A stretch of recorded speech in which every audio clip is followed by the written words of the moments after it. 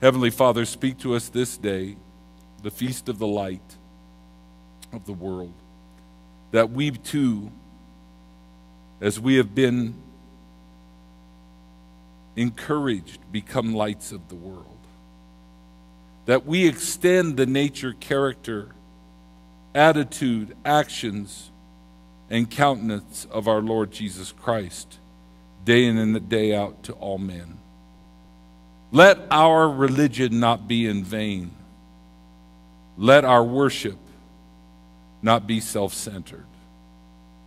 But let us begin this very day to intentionally let our light shine in the name of the Father and the Son and the life giving Holy Spirit. Amen. You may be seated in the presence of the Lord. And the children are dismissed at this time.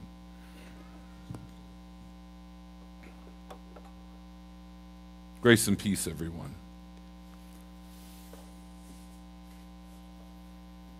Are you progressing? Or are you the same? Are you satisfied with your progress? Do others see a change? You know, sometimes we we think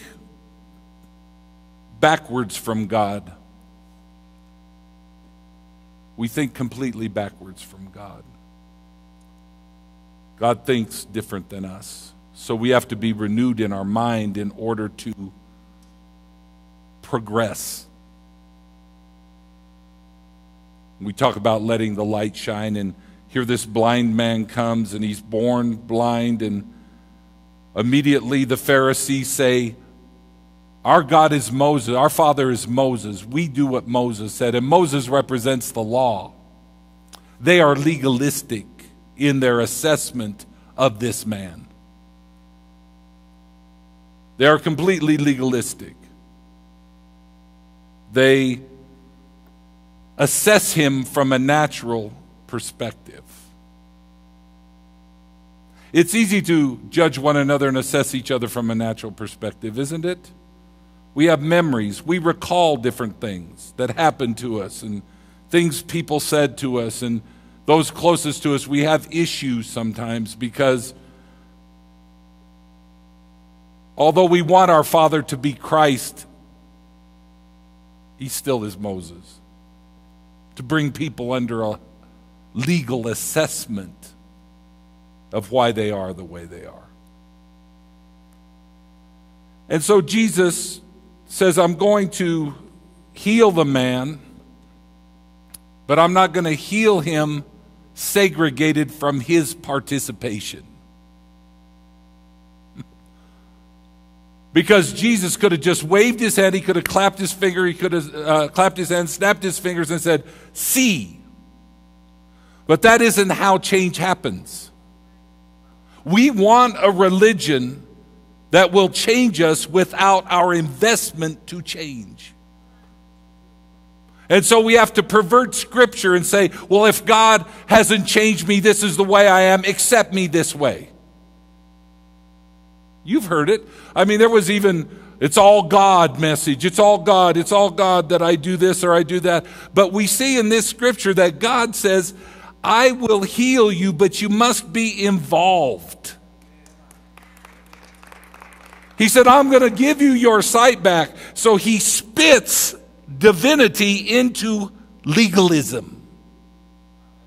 He takes divine spittle and mixes it with dust, which is what man is formed from but not created from. He takes the physical and he mingles the divine with it.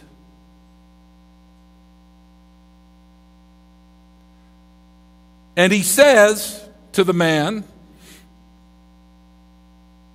Go and wash at the pool Siloam, which is sent or to be sent. See, here's the problem you won't change till you're ready to be sent. Because if you can stay where you're at, you don't have to change. And here's the problem some of us are in the same place spiritually we were five years ago. We're not being discipled, we don't disciple. We look the same, we talk the same, we still retain the image and the character and the projection of what we used to be. Because we're afraid if I make a physical change, I'm legalistic then. Hmm. Why is it my beliefs are different, but my, but my attitude and my life isn't different? Why am I still addicted? Why am I still depressed? Why am I still in debt? Why am I still paranoid how, how people view me? Why do I still think people are out to get me? I have a different belief system, but there's no visible change. This man needed a visible change. And so, God, are you all here today? I'm giving you, this is what repentance is about. It's a, you know, we can, we, we become too philosophical as Christians. We become all about, well, revelation this, revelation that. Where is the change? I don't care how deep the revelation gets. I don't care how deep the revelation gets. If you're still broke, busted, and disgusted, what good is your religion? If you're still paranoid. If you walk in here and walk out there and you have the same language with your coworkers and your fellow students and everybody else that you had five years ago, what, what's up? What's up with that? What's up with that?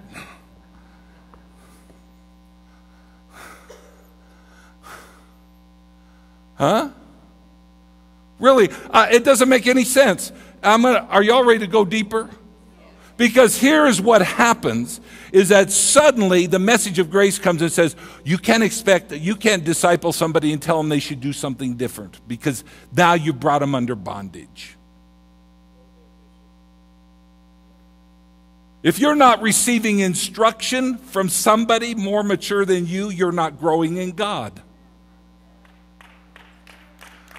I, I teach the young men I mentor you know who they are, the ones closest to me. Listen to the wisdom of your elders. You, should, you better have more sense. You better have more sense next year than you have today. And you should have more sense today than you did last year. Well, because I'm the head of the house, or because I'm the manager of the business, or the owner of the business, or because I have a position of authority, I don't have to change. You have to change more than everybody else. Because to assume leadership, in any level, whether it be the husband of a wife or a father of a children or mother of a children, you have to be, have to engage in more self-examination than somebody less mature than you. Let's get back to the word.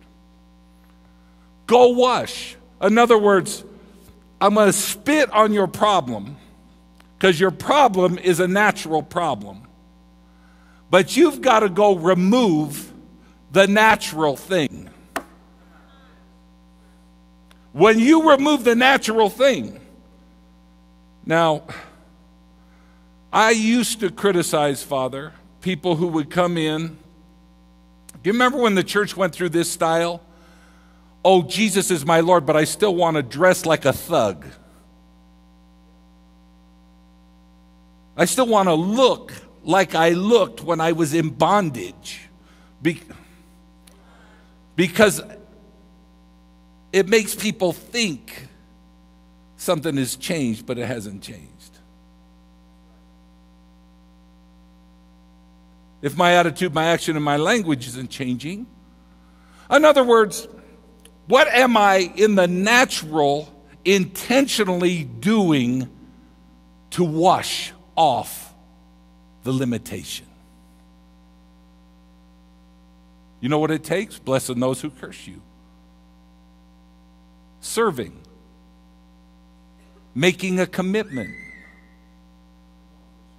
Making a commitment to something. And, and you know, I want to say this. Jesus said to them, he said to the Pharisees, and it wasn't in today's scriptures, he said, If you were blind, you would have no sin. He's saying, Look, this man's blind because this man can't assess everything by the natural. He has to trust by what, what he cannot control. We use faith to try to control things to ensure what we want. And then we get what we ask for, and we're more miserable than before we got what we asked for. I want to be married. I, oh my God, I'm married now. I don't want to be married. I want that promotion. Give me that promotion. Then I get all the garbage that comes with the promotion, the thing I prayed for, I want out of now.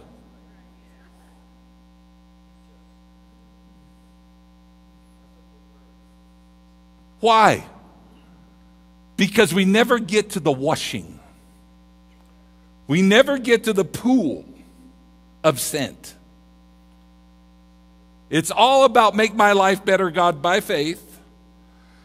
And here's the problem we stay sons of Moses, but we never become sons of Abraham. Because Abraham has to go without a blueprint.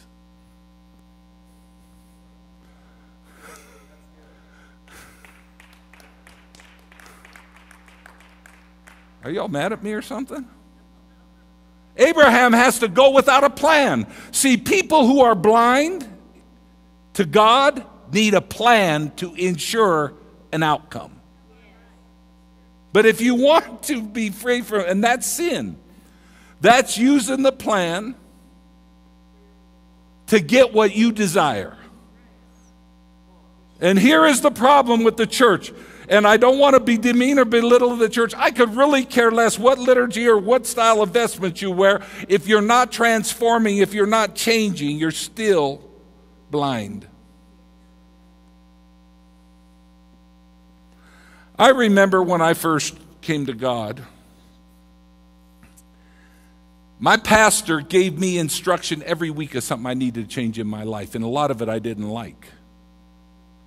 One of them was I couldn't stay living in the condition I was in. I need to get my own place. He said, You, you can't grow in God and, and, and, and retain this luxury that makes you feel good. See, we're at the point now, see, because I'm going to say this God can't change you without your cooperation. He's, you're not going to wake up someday and suddenly say, I'm changed. You're going to have to go wash some mud off. You might have to change. Now, oh, I'm going to tread on some thin ice right now. Oh, can I? I'm going to get on some thin ice, and I'm. Not, I know the world is listening to it, but I'm going to get on some thin ice. You might have to change the way you dress, just so when you look in the mirror, you can see you've changed.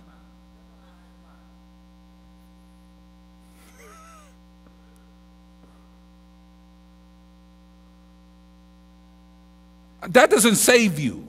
That doesn't make you holy. It just reminds you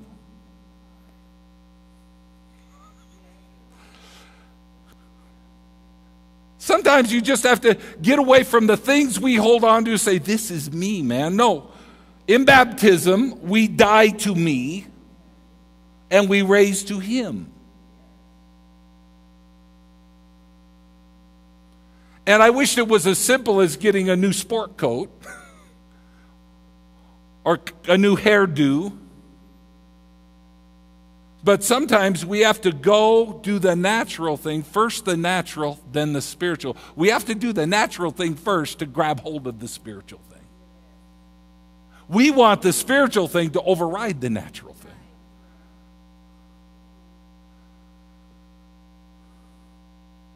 Well, why do people still treat me like I'm some type of whatever? Because you still look like one. You still talk like one. You still think like one. You still project that. Oh, I'm going to get letters on this. I, I, just, I'm glad. I feel it now. It's okay. Because, uh, look, I can tell you right now, it, we can, we can take it to extremes tattoos, piercings, sagger pants, uh, long hairs, bald heads, tat, what we take. I'm not talking about that.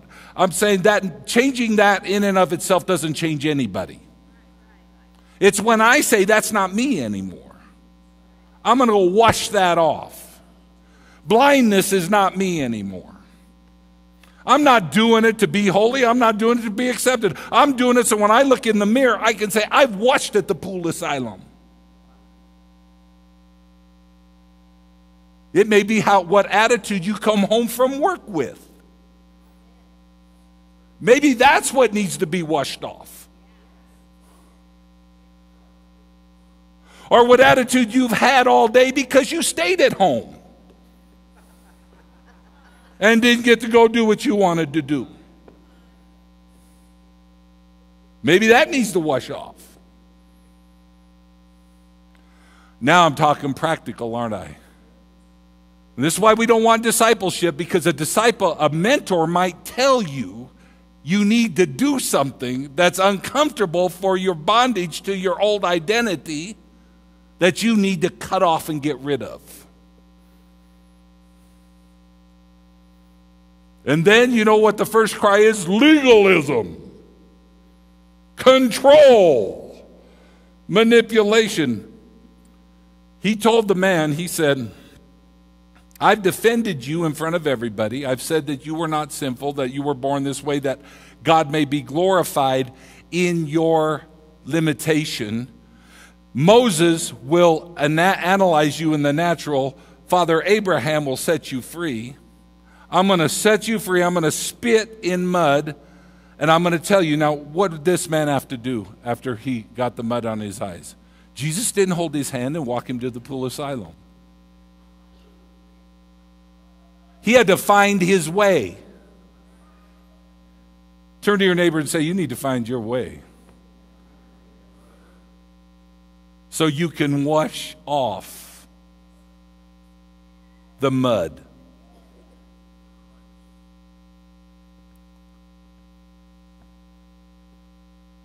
I'm going to have another conference now, the Wash Off the Mud Conference.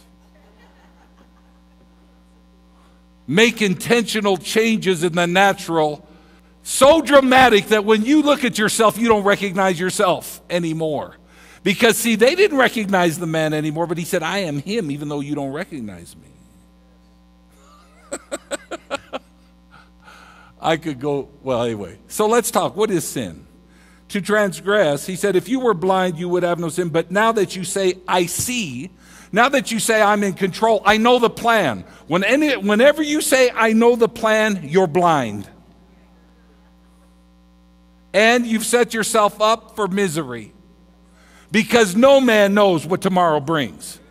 Give us this day our daily bread. I don't care what your plan is, your big, grandiose dream about life. The only life you have is the life you have right now sitting in that chair. That's the only life you have. Make all your plans. God can blow them up in one day. Plan for retirement, and the day you retire, you could be paralyzed, have a massive stroke. Are you living your life now? Well, let me put it in a different way. Are you washing the mud off? Uh, so, what is sinfulness? Let's define it so everybody knows it because we, we all need to understand what it is. And then I'll explain to you. Once you understand what sinfulness is, you'll understand why you need this Eucharist. Are you here? Watch. To transgress is to do what should is to do what we should not have done. Or conversely, to fall short and not do what we should have done. That's transgression. I didn't do what I should have done, or, and this, this boils down to where sinfulness lies. The most basic element of sinfulness is behavioral, but can also be mental. It's perceptual. Sin is perceptual. We dress, you know, we've learned how to dress ourselves up, say the praise the Lord. Hallelujah. How you doing, brother? God bless you, brother. Praying for you, brother. And in our mind, be totally contrary to that. It's not just behavioral, it's mental. Sinfulness can also be seen as the element in human nature. Everybody say human nature. Paul told the Corinthians, You're acting like mere humans again. And so sin is a human nature trait. Now, I would like to believe the day that I confess Jesus and wash in that baptism, that all the urges, passions, and desires of my sinful nature would go away. Like my lust. Okay, well, that doesn't, you can't click that button. So let's try this. My anger. Oh, my frustration. My fear. My impatience my unforgiveness, my paranoia. Paranoia is rooted in sin. It's caring more about what people think of you than what God thinks of you. What is it? It's being afraid of the process of God. It's being afraid that doing the hard thing, the hard thing that washes the mud off, might be the thing that opens my eyes.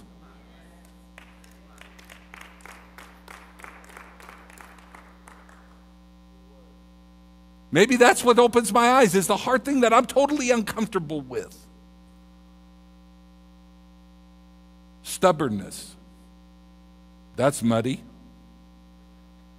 That's muddy. Let's finish up. It is more about, listen to this. Sin is a human nature trait to a degree. It is a trait of human behavior. It is more about who it is more about who we are than about what we do. Sin is more about who we are than what we do. Paul said it, in my flesh there's no good thing. He said, in this human nature there's a virus. Now, you can have a virus but it hasn't blown up into a sickness yet.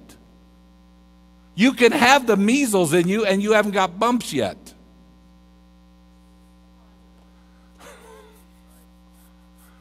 You know, if we just prayed a prayer and we become perfect, let me, let me explain. The divine parent, God, wants divine children. Some of you all read my blog on that, but I'm going to help you here. Why didn't God make us flawless? He could. He could have made us flawless and morally perfect. And we'll take a little baby like Talon or a little child like our grandchildren and we'll hold them and say, Aren't they perfect? And we think they're perfect, they're just perfectible. But to be perfectible, there has to be engagement.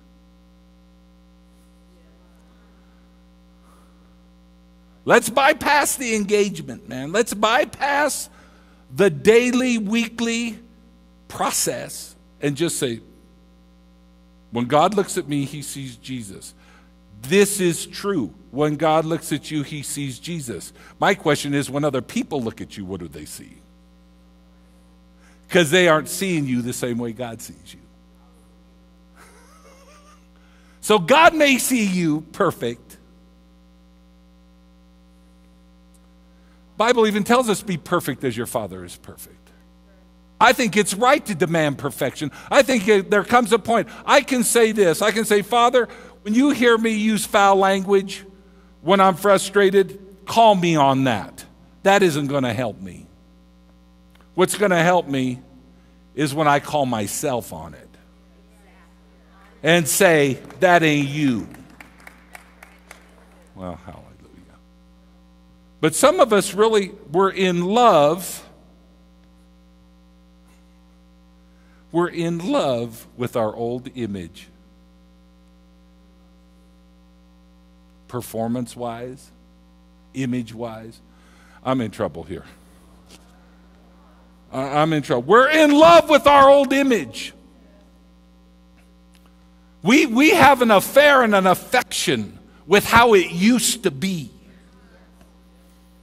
And we take all of the garbage of the past and we remember just the parts that really fed us egotistically, and we think that's our identity success, popularity, wealth, influence, youth.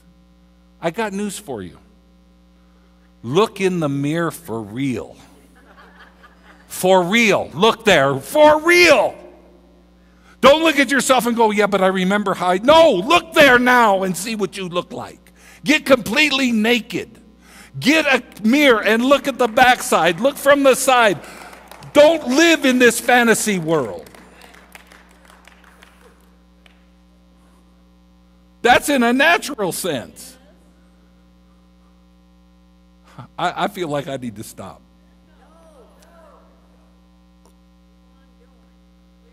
The mental sin is denial of my reality.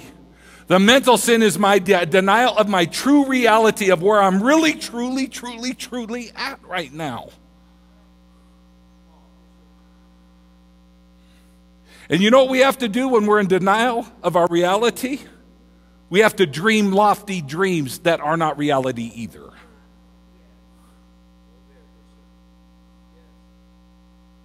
This is a handful of people in here. I, I gave up on years ago having the image I have to preach to the masses. If I could get f- five or six people in a lifetime who want to change, I've done my job as a priest. Because in order to get crowds and have all of the, the hoop and holler, I'm gonna have to, I'm gonna have to gloss over the thing that changes us. Are you all still with me here? Watch this. I'm, a, I'm about done. I, I, this went no way the direction I thought. Go. But I want. I need to thank Deacon Severus because right when he, the little light of mine shine song came on, the whole thing opened up in the heavens for me. Totally opposite of what I thought was going to happen when we threw that little light of shine thing up there. It was like I think I might get depressed now. And the thing I thought that might kill the spirit opened up everything for me because I chose intentionally to not assess it in the natural. You know what? I just don't understand why anybody would do something that made them miserable over and over and over. It makes no sense when you think about it. Why would you stay in a job that depresses you and frustrates you? For money? to uphold an old image that is not reality. I'm not telling you go quit your job. I'm telling you to change. change. Change. Change, change, change.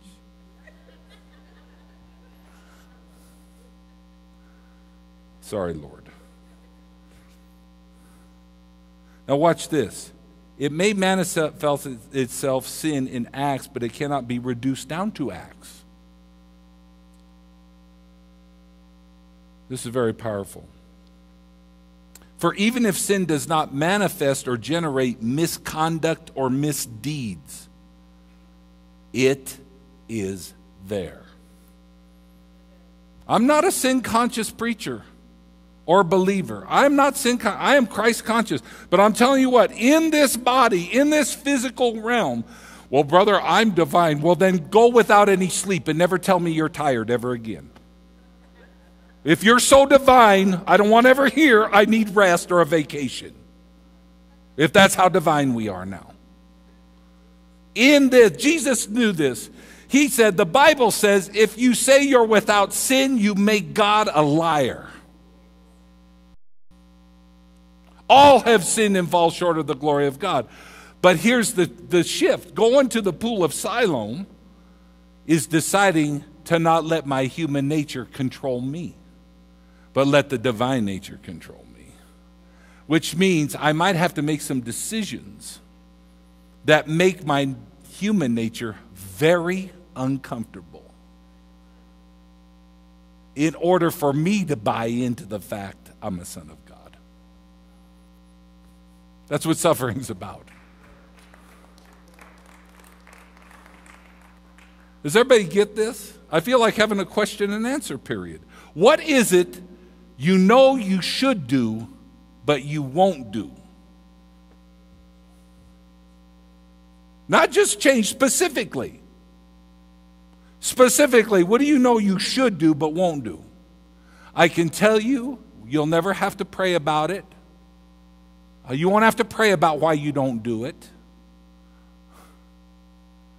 You don't trust God.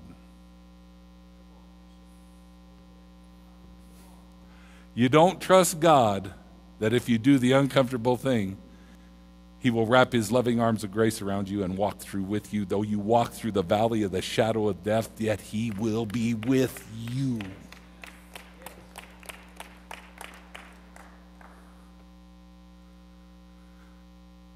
It's so much easier to say, here's what's wrong with everything and everybody around me. Because then I never have to deal with change. Changing me. Rebirth, regeneration, renewal, anything.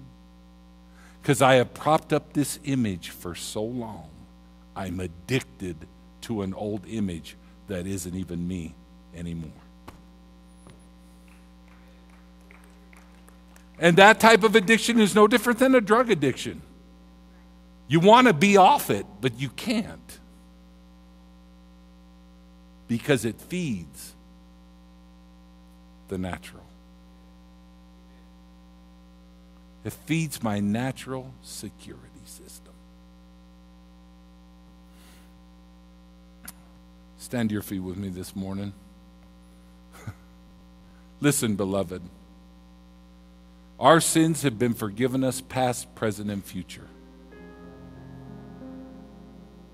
Say this with me My sins have been forgiven, past, present, and future.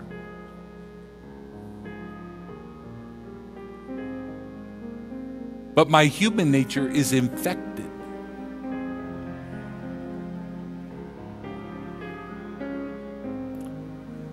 Contrary to preaching, God showed me something when I was studying this last night. How many of you know Peter walked on the water? Peter didn't walk on the water by himself. He walked to where Christ was. And the minute he got his eyes off of the communion and engagement with Christ, he drowned. We can turn Christianity into all kinds of carnal, beneficial things if we want to, but the truth is, are you changing?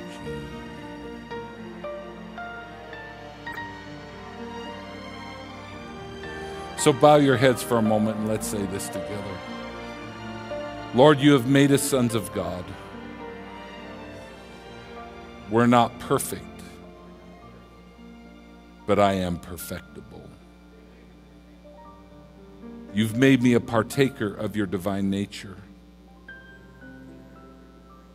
and given me the power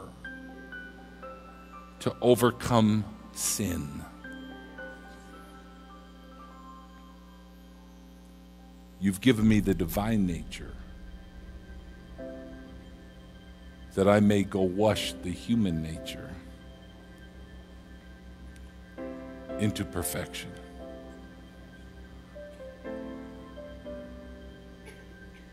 Lord, put the mud on our eyes so we'd stop looking at the natural and find our way to the pool of Siloam, the pool of sent, and be washed. Jesus' name. Now I got a prophetic picture when we prayed that prayer. I want you for a moment to close your eyes and envision this blind man who has never ever seen finding his way to the pool Siloam. The Lord showed me something. He knew where it was and he knew how to get there. The problem is he's going now with mud on his eyes, which tells the world he's engaged with a change that's about to happen. So, Father, I just bless your people now in the name of the Father, and the Son, and the Holy Spirit. To fearlessly embrace the process of being sent to wash. In Jesus' name. In the name of the Father, and the Son, and the Holy Spirit. Amen. Let us profess our faith in Almighty God. I believe in one God.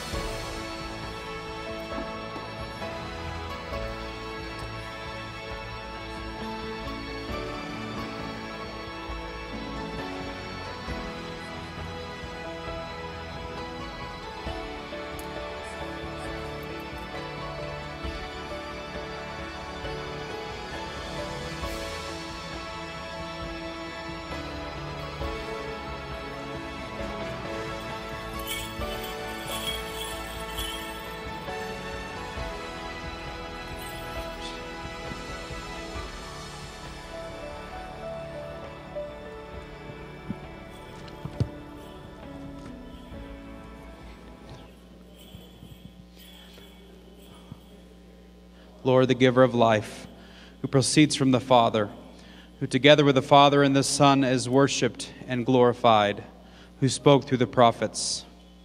I believe in one holy, universal, and apostolic church. Acknowledge one baptism for the remission of sins. I look for the resurrection of the dead and the life to come. Amen. Jesus welcomes all of us to his table, so we offer communion to everyone who has been water baptized and receives Jesus as Lord by faith. Amen. The Altar Guild is bringing forth the gifts of bread and wine this morning. Let's thank God for their service. This is a secret service. Amen. A hidden work. Oftentimes, their, their work isn't visible to us because they're working before we get here and after we leave. Amen and working behind closed doors. That's where true Christian work happens. It doesn't happen on the platforms in front of everybody else, it happens when no one's watching. Amen. True Christians are Christians whether the light's on or whether the light's off. Amen. Everybody point your hands forward as we uh, as we bless this. They represent those, even uh, Deanna and Felicia Mia, so many who are part of this, this guild and this team. Um, we simply could not do what we do without their efforts. So we bless you now as we're reminded as we stand in these white robes that He has made us pure, not by our own effort, but because He is who He is. We bless you in the name of the Father, the Son, life giving Holy Spirit. Amen. Amen. Please be seated.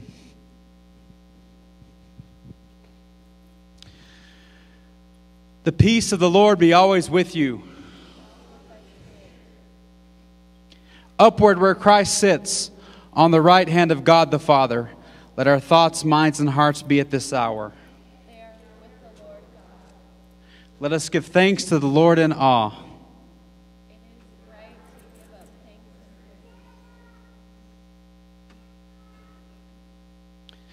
It is right and a good and joyful thing, always and everywhere, to give thanks to you, Father Almighty, creator of heaven and earth.